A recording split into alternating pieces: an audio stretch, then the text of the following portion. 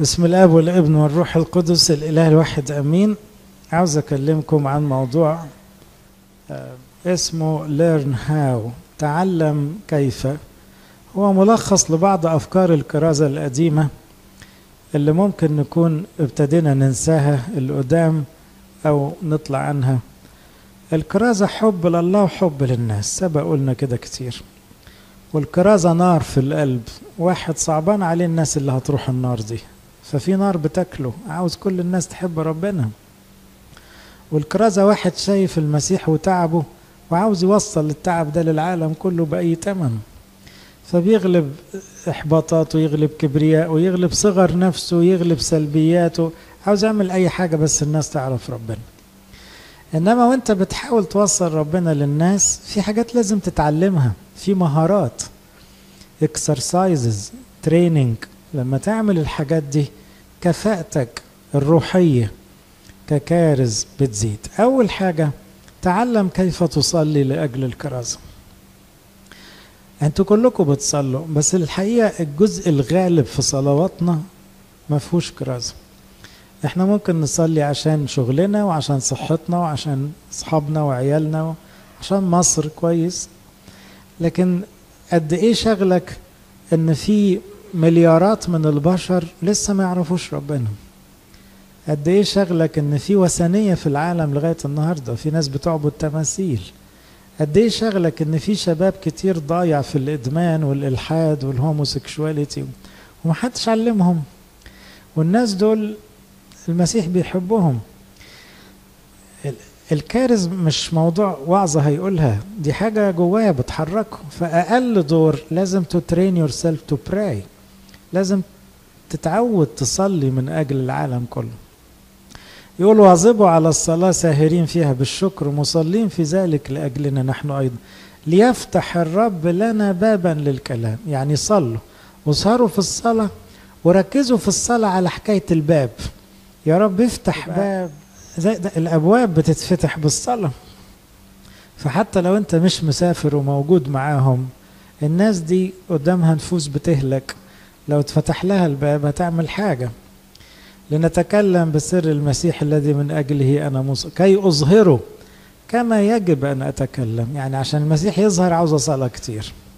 اسلكوا بحكمة من جهة الذين هم من خارج مفتدين الوقت. ليكن كلامكم نعم نعم. كل حين بنعمة.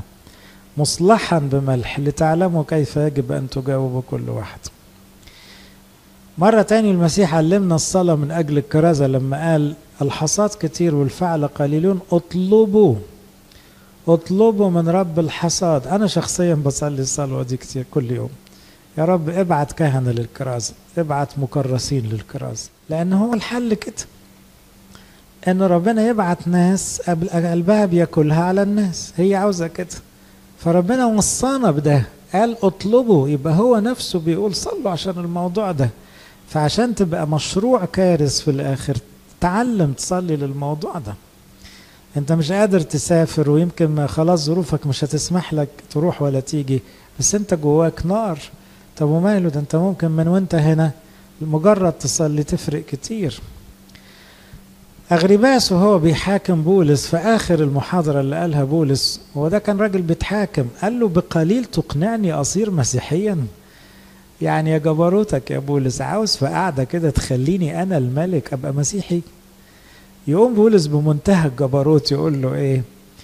كنت أصلي إلى الله أنه بقليل وبكثير ليس أنت فقط بل أيضا جميع الذين يسمعونني اليوم. طبعا بصلي. كنت بصلي عشان القعدة دي. كنت بصلي ربنا ينور قلبك وكل اللي سامعيني كمان. اذا القديس العظيم بولس ما كانش متكل على خبراته في الكرازة ولا شطارته في الدفاع ولا حجته القانونية وراجل دارس قانون. لا لا لا هو الراجل متكل على الصلاة. اتعلم تصلي للكرازة صلي على الأقل لكل اللي حواليك في كل مكان. بتصلوا للناس جيرانكم؟ بتصلوا للناس اللي في أشغالكم؟ بتصلوا لقرايبكم اللي ما يعرفوش المسيح له المجد؟ بتصلوا للناس اللي بنشوفهم في الشوارع؟ بنصلي للناس دي ولا كأن الناس دي وماله لما يهلكوا. ده انت تبقى قاسي قوي لما تبقى الناس دول بالنسبة لك وماله لما يهلكوا. لا إزاي؟ دول بشر. زيك زيهم. ولا يعرفون يمينهم من شماله قول يا رب نور عينيهم. قول يا رب عرفهم طريقك. قول يا رب ما تسيبهمش يهلكوا. قول أي صلوة كده من الحاجات اللي تفرح ربنا اللي تقول إنك أنت فعلا فاهم كراسة أو بتحب الكراسة. يبقى اتعلم إزاي تصلي للأمور دي. لأنها مش هتيجي غير لما تحطها في دماغك. كلمة صلي ليفتح الرب لك بابا للكلام يعني ممكن الباب ده يتفتح بسؤال أو بيتفتح بجواب. الكارز لو اتكلم في السياسة ما يهموش السياسة يهمه يدخل منها على المسيح. لو اتكلم في الاقتصاد ما يهموش الاقتصاد عاوز يوصل منه للمسيح. لو اتكلم عن الإلحاد يهم يسوق المتكلم اللي معاه إلى المسيح لكن هو مش بيحكي لمجرد بيحكي من هنا تاني نقطة اتعلم إزاي تقول السؤال المناسب. ربنا يسوع له المجد. يعني أخطيت أستاذ أسئلة.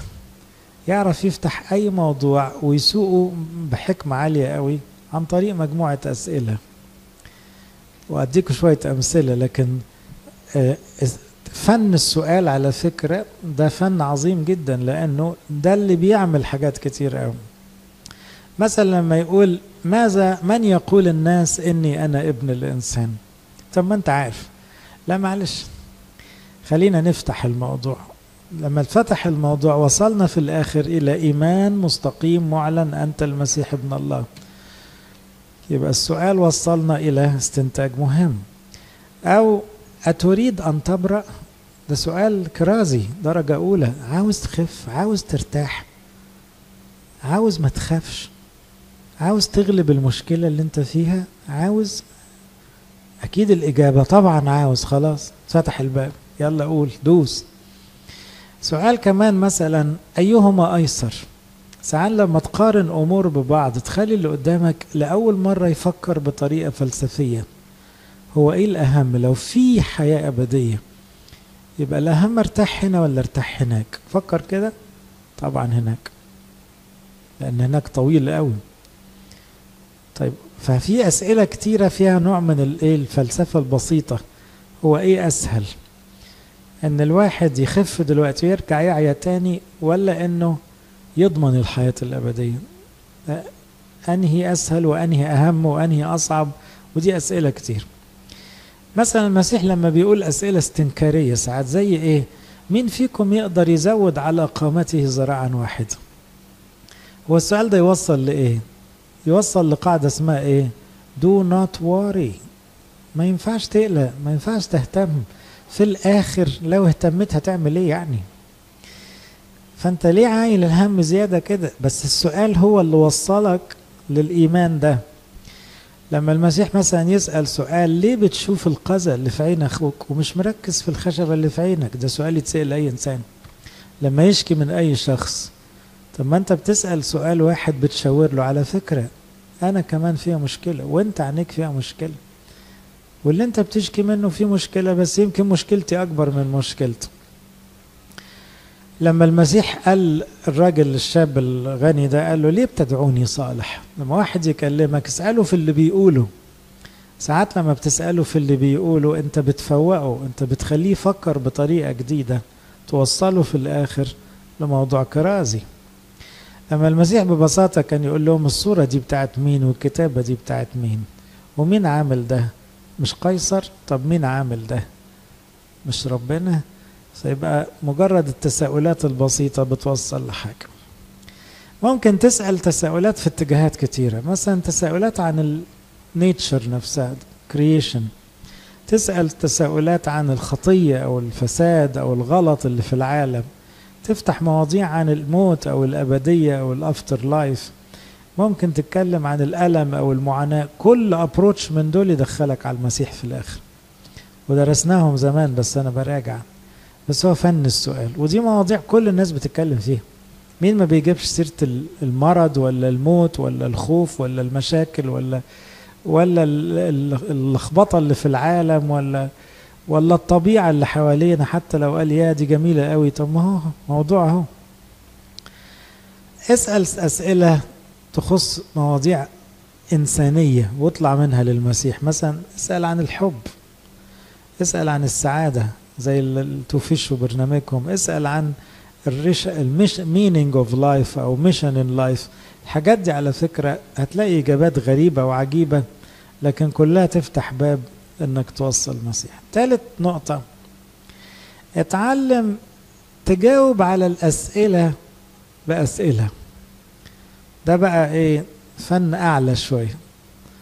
وده الحقيقة كنت بقرأ فيه كتاب رائع يعني. إزاي question the question. يسميه كده.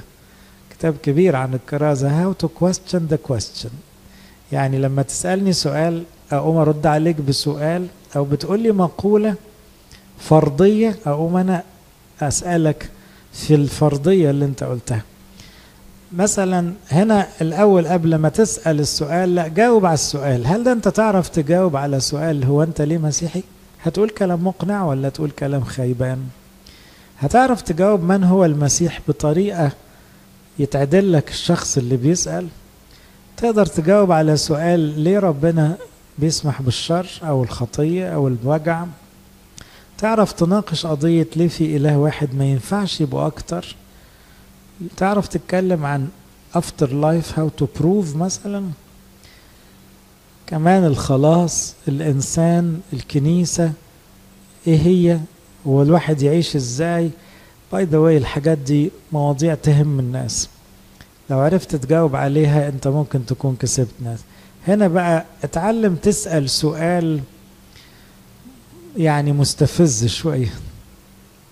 يعني في ناس كتير قوي دلوقتي بره مصر يقول لك إيه كل الأديان دي حاجة واحدة في الآخر. دي مقولة بقت مشهورة جدا. عارفين ألطف سؤال أنا قريت فيه؟ إنك تقول له really? Do you really mean it? Is it true? أنت بتشككه في اللي بيقوله. فلو قال لك yes I mean it. قول له في عقيدة بتقول ما فيش ربنا خالص وفي عقيدة بتقول ما فيش غير ربنا واحد وفي عقيدة بتقول في ربنا كتير. هما كله زي بعض؟ Is it true?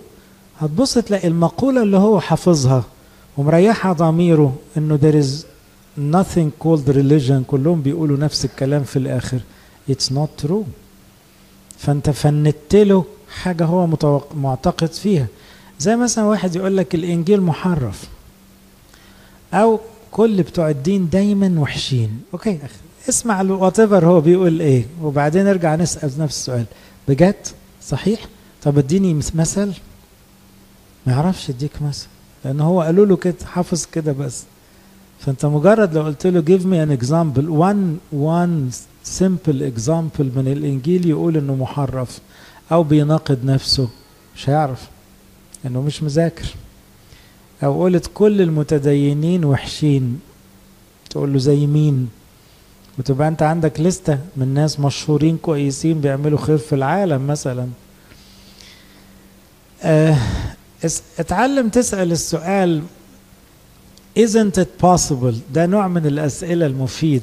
هو ما ينفعش إنه يكون ربنا موجود وفي شر موجود. خليه هو اللي يوصل للاستنتاج لا ممكن يكون ربنا ومدي حرية للبني آدمين فمجرد قاعدة isn't it possible يعني هو مش ممكن تبقى. وسيب له الباب مفتوح. ساعده هو اللي يكتشف الإجابة المسيحية. هو isn't it possible إن ربنا عشان بيحب الناس يجي لهم؟ يقول لك is it? It's possible. Okay. That's exactly what we say. فاحنا ما بنقولش كلام مش possible. إحنا بنقول كلام مقبول قوي. ممكن تسأل شخص لما يقول لك حاجة كده مسلمة تقول له عرفت إزاي؟ ما يقول لك الإنسان أصله حيوان. أوكي طب عرفت إزاي؟ كتب بتقول كده زي إيه الكتب؟ وإيه البروف هتلاقيه هو مش دارس هو مش مذاكر هم حفظوه. هم حفظوه كلمتين عشان يخدروا ضميره لكن لما تدوس هو ما يعرفش. وتكون في الآخر تقول له أنا لما قريت اكتشفت إنه ما ينفعش. لا في فرق كبير بين الحيوان والإنسان لغاية دلوقتي وإن العلم ما قالش اللي حضرتك بتقول. بس بعد ما ترمي له السؤال الأول وتخليه يحتاج شوية أو هل أنت متأكد؟ أنتوا عارفين حكاية الفيل؟ شايفين الفيل؟ حكاية الفيل دي بيحكوها قوي بره مصر دلوقتي. يقول لك كل أصحاب الديانات والمتدينين هم ناس عميان وكل واحد بيقرب من الفيل فبيوصف جزء منه. فمثلا اللي مسك الزلومة قال ده عبارة عن تعبان. اللي مسك الرجل قال لا ده ده شجرة.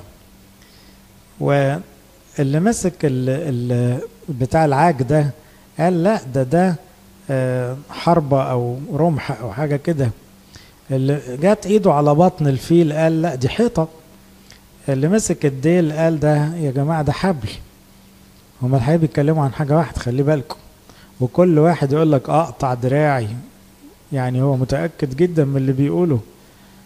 طيب فيقول لك عشان كده بتوع الأديان كلهم غلط. فاهمين اللعبة؟ هما بيحطوا المثل ده عشان يقولوا يبقى كل الناس غلط. الحقيقة انت تقول له هو انت حكمت عليهم انهم غلط ليه؟ لأنك افترضت إنك شايف فشايف الفيل كله. إذا على الأقل في واحد شايف الفيل كله. يبقى في واحد على الأقل هيطلع صح. الباقيين اللي انت قلت عليهم عميان كل واحد عنده part of the truth. لو خلاها هي كل تروس هيطلع غلط. لكن عشان تحكم إن كل دول عن غلط أو عندهم أجزاء من الحقيقة يبقى لازم في واحد على الأقل مفتح وشايف. أنت افترضت كده في كلامك. طب أنا بقول لك كده إن لازم يطلع دين واحد صح والباقي غلط. يعني اذا أنا برد عليه من نفس منطقه اللي كان بيشرك القصة دي. آه آخر نقطة عاوز أقولها. تعال نتعلم إزاي نحب زي ربنا. أنا قلت ثلاث نقط كبار. تعلم إزاي تصلي كويس وتعلم إزاي تسأل أو تجاوب. اتعلم كمان إزاي تحب. لأنه زي ما شفنا العذراء العذراء ما بتسألش ولا تجاوبش. بس العذراء خادمة درجة أولى وكسبت ياما ناس. لأن العذراء بتحب بجد. والحب ده عملة صعبة في الزمن ده. اللي يحب الناس قوي من قلبه لازم يكسب ناس لازم. فهنا المبادرة إنك تبادر تفتقد ناس تعبانة تروح لناس ملهاش حد تستحمل الناس في متاعبها وغلبها و... إنك تبقى مستعد للغفران والتسامح إنك تدي بسخاء إنك تنسى نفسك عشان شخص آخر. مش ممكن الكلام ده ما يجيبش نتائج مش ممكن. ده أقوى من أي عظة. بس إحنا عاوزين نتعلم نحب بالمستوى ده بالطريقة دي. مش بنحب اللي بيحبونا. إن أحببتم الذين يحبونكم إيه؟ أي فضل لكم. طب ما العشارين والخطاب يعملوا كده. إزاي تحب زي ربنا اللي يعذر واللي يستر على الناس كلها؟ يبقى عاوزين تاني نتعلم إزاي نصلي للكرازة؟